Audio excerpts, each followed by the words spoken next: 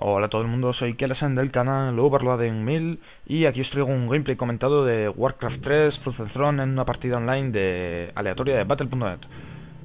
Bien, hoy quería hablaros un poco sobre las estrategias que seguimos cada uno a la hora de jugar este juego, ya que hay una cantidad infinita, que si fast attacks, que si super defensas y bueno, quería hablaros en concreto sobre una, que es la que veréis en este vídeo, que es bastante rara.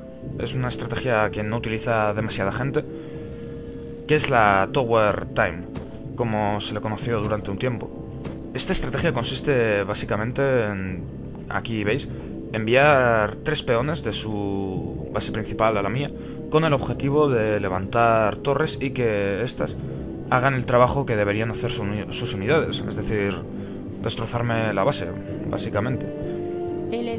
no es una estrategia que me parezca del todo buena, ya que la defensa no es muy complicada con ninguna de las razas, salvo humanos quizás, aunque realmente tampoco si se juegan medianamente bien. Y requiere una coordinación muy alta entre las unidades que tienes en tu base y las unidades que tienes construyendo las torres. Porque evidentemente tienes que estar muy pendiente de ellas para que no te las maten y puedas seguir construyendo tu base igualmente. Bueno, aquí veis, eh, como bien os he comentado antes, la defensa no es precisamente difícil, como con mi árbol de la vida le empiezo ya a destrozar la torre, que es el pilar de su estrategia, por así decirlo. Eh, en cuanto le mata a esos tres peones y se quede sin torres, ya veis aquí que iba sacando el paladín bastante más atrasado que yo.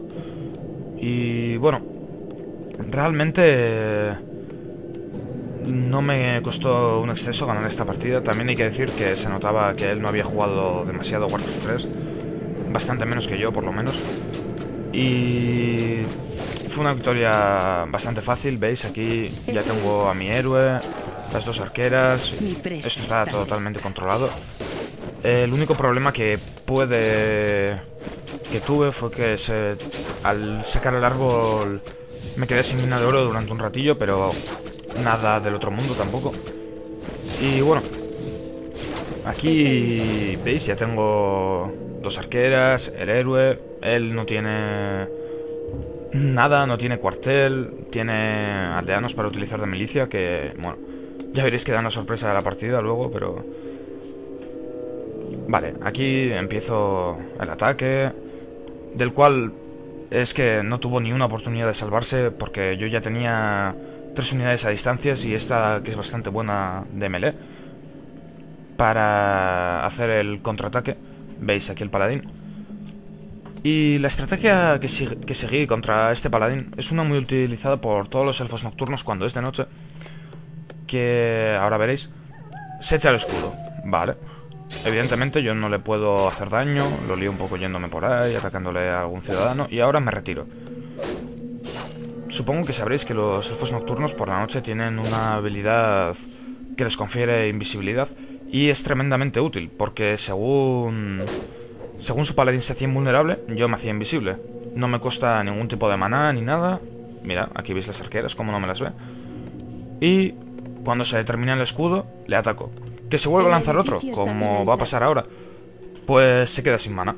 Al fin y al cabo es jugar un poquito al desgaste, si no tiene las cosas muy bien organizadas. ¿Veis? Aquí me vuelvo a hacer invisible. Y bueno, realmente en esta partida podría haber utilizado a la milicia ahora mismo, en este instante, y me habría dado bastante más problemas porque con el héroe lo único que hacía era demorar las cosas ya que estaba perdido, o sea, si seguía así, vamos, no tenía ninguna oportunidad, porque su grado de desarrollo era bastante inferior al mío.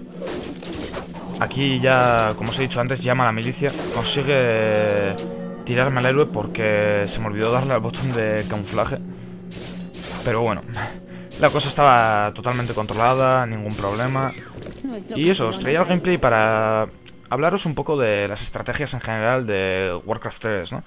Por ejemplo, a mí, como ya visteis en el anterior, me gusta mucho la del ataque rápido, el ataque relámpago, que básicamente se trata de no dejar desarrollar a... no dejar, no dejar que el rival se desarrolle. Para que la partida tampoco dure una eternidad y bueno, si tienes suerte le puedes pillar prácticamente con el culo al aire. Y... no sé, hay otras estrategias como pueden ser las ultradefensas de los no muertos, que funcionan realmente bien, la verdad. Porque supongo que ya sabréis, sus granjas se pueden utilizar como torres por un precio bastante bastante inferior al normal. Yo con los elfos nocturnos, de hecho, es que ni me planteo levantar torres porque no hacen mucha falta y quitan muchísima velocidad de juego. Y no sé, estrategias así en general están un poco estas dos, ¿verdad? La, la ultra defensa y el ataque relámpago. Pero luego nos encontramos con cosas de estas un poco extrañas, ¿verdad? que no sabríamos muy bien en qué categoría meterlas, porque si hacer torres está dentro de la ultradefensa y atacar rápido está dentro del ataque relámpago, ¿dónde metes una estrategia que consista en hacer torres a una velocidad increíble en la base del rival, verdad? Es bizarradas de este tipo que... como combinar estrategias, ¿no? Eh, a ver qué sale, si sale bien, sale mal... Y no sé, de vez en cuando salen cosas bastante interesantes. Mm, he visto cosas que me han llamado muchísimo la atención, la verdad. Aunque luego las he probado y... Vamos, ningún éxito, pero bueno. Y aquí se termina el gameplay, ya ves que abandono la partida.